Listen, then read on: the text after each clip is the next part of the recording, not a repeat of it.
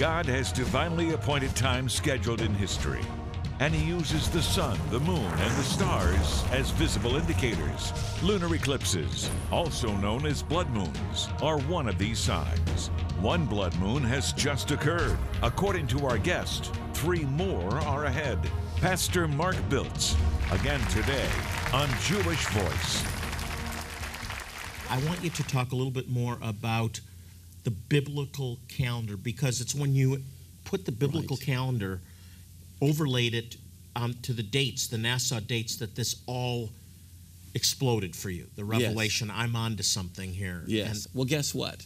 God says we're in the world, but we're not of it. And we need to realize we have to operate on two calendars. One of them is our normal Gregorian calendar, uh, who we got from Julius Caesar. It was the Julian calendar first. Pagan Rome came up with this. It's based totally on the sun. It's a wonderful calendar, but it's not the one God uses. Then you have the uh, Muslim calendar, which is based totally on the moon. Okay? Great calendar, but it's not the one God uses. This is why Ramadan will float. One year it'll be in June, another year July, another year August. But and God- Easter, Passover, same thing. Right. Well, what's, I'm glad you brought that up. This is the importance of the biblical calendar.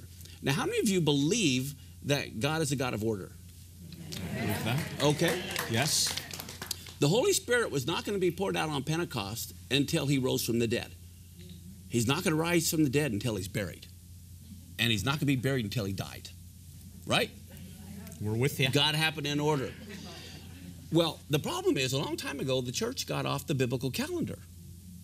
Do you know in 2016, Easter is a month before Passover?